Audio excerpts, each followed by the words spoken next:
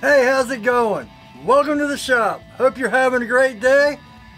Once again, it's heat treating day. All right, here we go.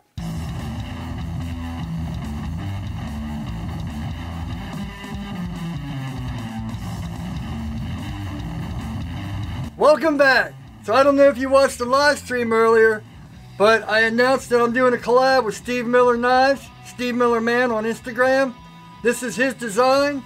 I sent him a design and we're doing each other's knives. While I was heat treating, I decided to try some 80 CRV.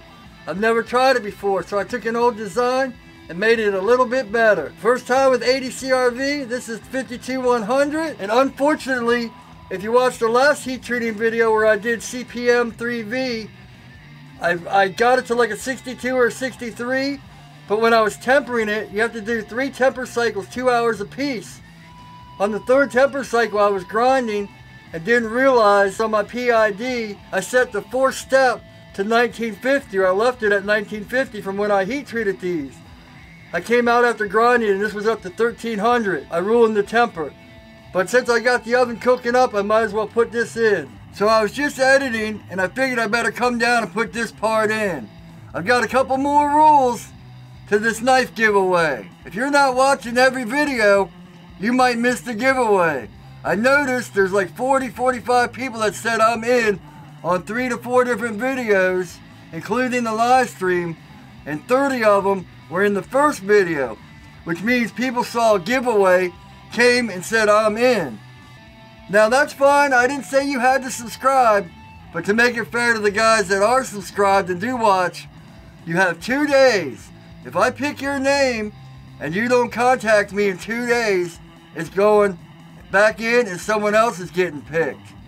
Now if you say, okay, well I have an email, but my email isn't the same as my name, I pick your name, you email me, you say, oh, well, my name on my YouTube account isn't the same as my email address. That's fine. I'll give you a name or a number or something, and you go to your YouTube account and say, here's the name, it's me, and then when you email me, I'll send you your stuff. I just want to make it fair for people that watch all the time. They should get more chances. I'm not going to announce the giveaway video. Just in the next week or two, all of a sudden I'm going to be on screen, I'm going to put in the counter, and boom. So you better watch. If people miss and they don't contact me in two days, it goes on to someone else. Just making it fair and interesting. Back to the video. Let's get these wraps for normalization. And just like that, got my gloves on. Now, if you watched my previous videos on heat treating, I did it backwards like everything else. This is 309, which only goes to 1800. The 321 is the one that goes to 2200. I've been using this for the stainless and the 1800 for normalizing. That's why you always see the box here. So somehow down the line I got it backwards. So make sure you have the right tool wrap because if you noticed on my last video, go back and watch the CPM3V video. I'll put it up right here. They worked and it got heat treated, but it was just covered with descale and all that. But if you don't use any wrap at all, that's even worse. So make sure you're using the right tool wrap because I was using the wrong stuff. All right, let's get these wrapped.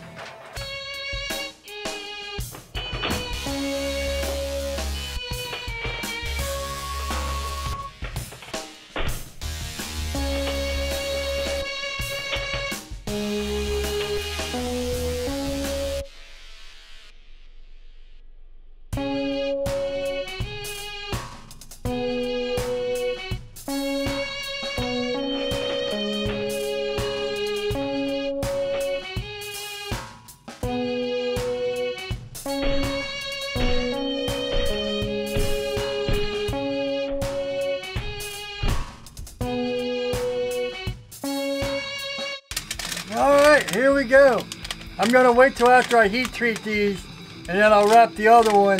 I found out the 321 is 2000 degrees and the 309 is 2200 degrees. So it shouldn't make that big of a difference, but just a little bit, 200 degrees and seems like it'll hold out more. Let's get these in the oven. Check this out. I, am auto tuning my oven to 1600, but it's like jumping. The numbers jump down, jump up, jump down, jump up, and then go up. At least just keep going up. So we're getting there. All right, here we go. Woo!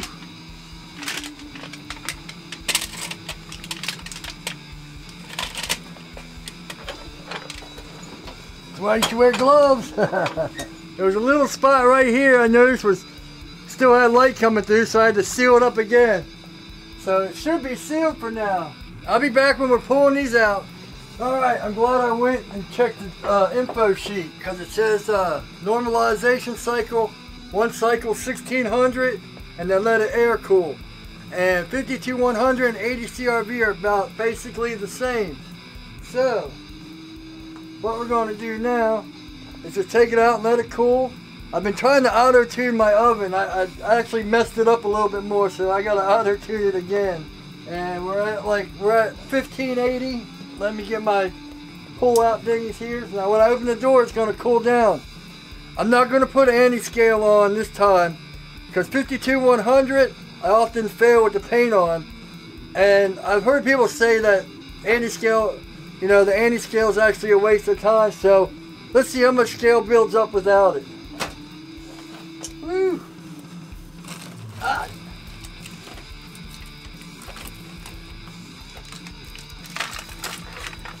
From 80 CRV2 and 52100, you take it up to about 1550 for five minutes, and then dunk it. Let's get this. Let's get this uh, oil heating up to about 120. So as these cool off, I'm to cut them out. And then uh, I'm to try to see if they'll straighten up. See what we need to do to straighten them.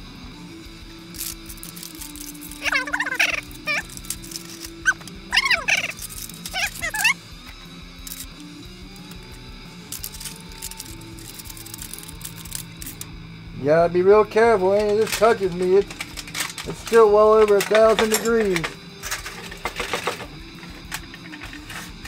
And there's the 80 CRV.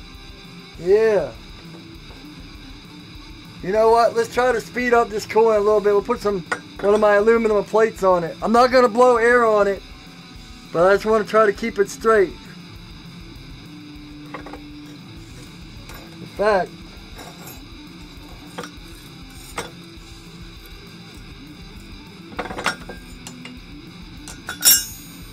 Now I always got a welding blanket down below me, just in case.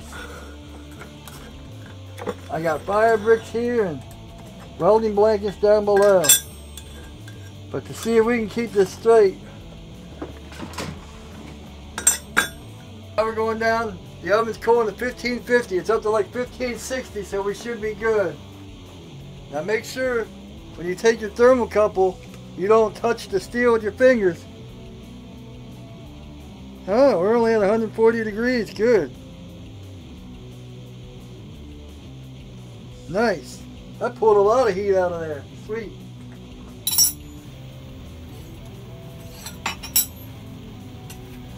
All right. This one's straight enough. Both sides. No wobbles.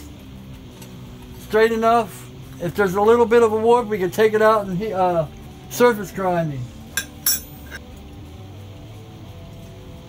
Same with this. Barely any warp. Alright, let's put them in and get them heat treated. Alright, I'm heating the oil up because once it goes in, it only needs five minutes in the oven. Both of them.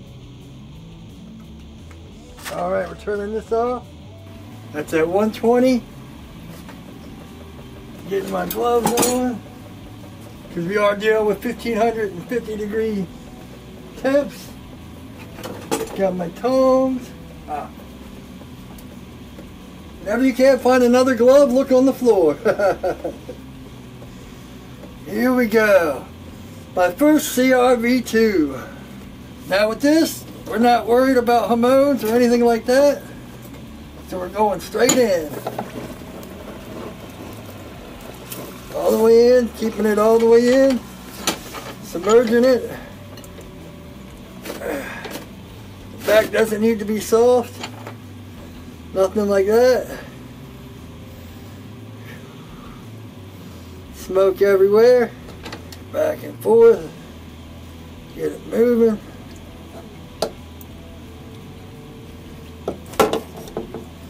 We got some scale. Oh, yeah, maybe you don't need any scale. Look at all that scale.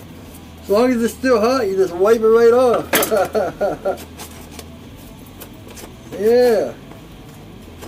Nice. There's on a little bit right back here, but alright, let's get this in here.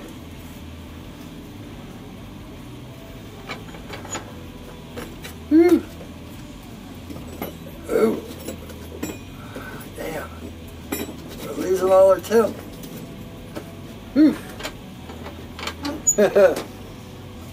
That wasn't smart, huh?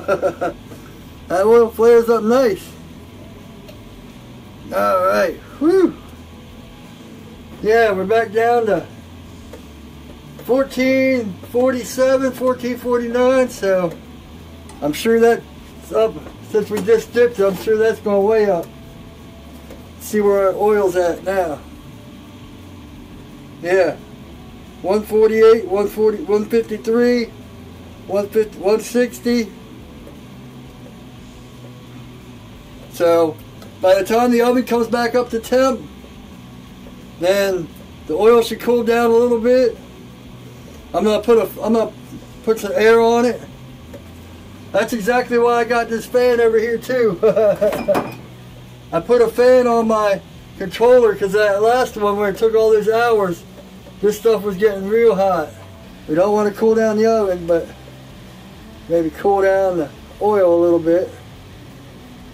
So I guess with the 1080 CRV and maybe 51, 52 100, we don't need anti-scale. I mean, that wiped right off.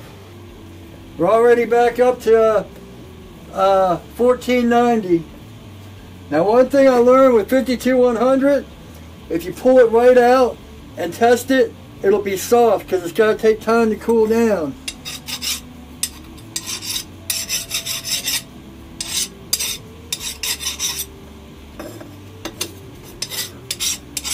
Oh yeah.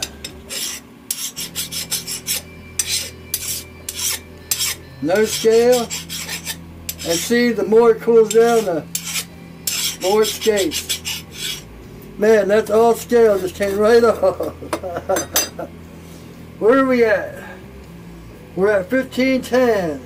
And now I'm kicking it up to 1950 and throwing that CPM in, so, but I'm not going to do that on camera. I already showed how I did it.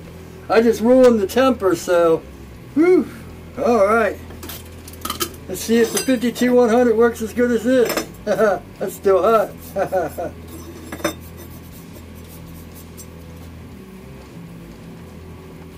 That's good to know about the anti-scale. I'll have to try that with 1095 and other steels. I've been wasting all that time putting that anti-scale on. I think it might be time for a new pair of gloves. These things are about, man. I can't even flex in these things. oh well. One good thing about 52100, you don't need to be as fast or anything like 1084 or 1095. So here we go.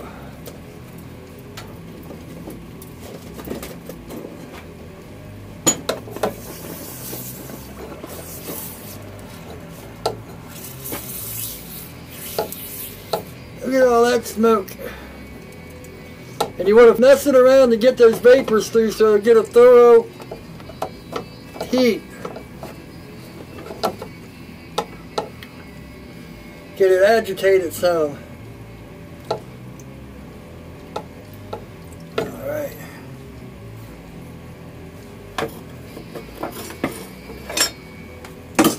Can we wake that scale up? Uh, no. Oh, uh. Let me set that up to 1950. Yeah, we weren't as lucky with this. I mean, it's not that bad, but he still has scale. Luckily, we leave the edge thick, so now I'm gonna let that cool down before I test it for hardness. All right, we're already back up to 1540, but we are going to step five. 1950. Here's our CPM 3V. You want to try it for the second time? Woo! Hot! I think I burned some of the hair on my arms on that one. yeah. Woo! Yeah, these gloves, man, they've about seen their last day. the right one's good because I'm left-handed. Let's see if it skates a five. It needs to cool down more. Oh no. It skates. yeah, that don't even touch it.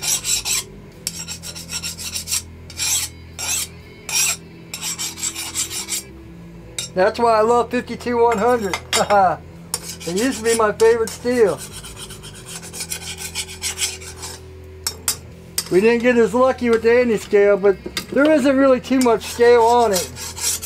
Just a little bit. Once they cool down, I'm, I'm to go test them on my Rockwell tester. So that'll be next. All right.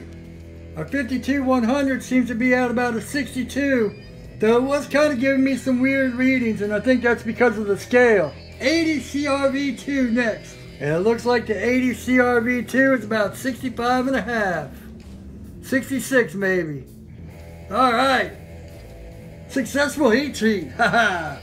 The 52-100 and the 80 CRV2 are in for their first cycle. Man, CPM 3V. I think it's a nightmare or something, or it's jinxed. My oven got up to about 1700 and started failing. I tried to fix it, but the stuff fell off the door. You can see the adhesive held. It was just uh, the bricks didn't hold. So I'm gonna have to make some new stuff. I got some fiberboard. It's one inch. I'll uh, have to seal it in here and then put it on the door so when I close the door it seals. Because man, I can feel the heat. There wasn't any heat coming off anywhere, but on the door, I tried to use some Kaowool to stuff it, but then that just made it worse. So I turned the oven off and let it cool. Gotta move on. Man, that was quite the, the task. Now I gotta rebuild the oven and wait for tempering and all that. But at least the 52-100 and the 80 CRV came out real nice. So I think that's about it. Links are down below. If you go to my website for the Amazon part, I got Spain on there now, Italy, Germany, UK, and Canada. They're all on there, so but you have to go to my website under the Amazon part to, to get to those links. Everything's down below. Thanks for watching. I appreciate the support. Hope you're having a great day, a great week, and as always, take it easy. this in the beginning, but I figured you have two days. If I if, if you think that's about it, hope you're having a great day. So I think that's about it. Maine now too. Maine's the third one. So that's UK,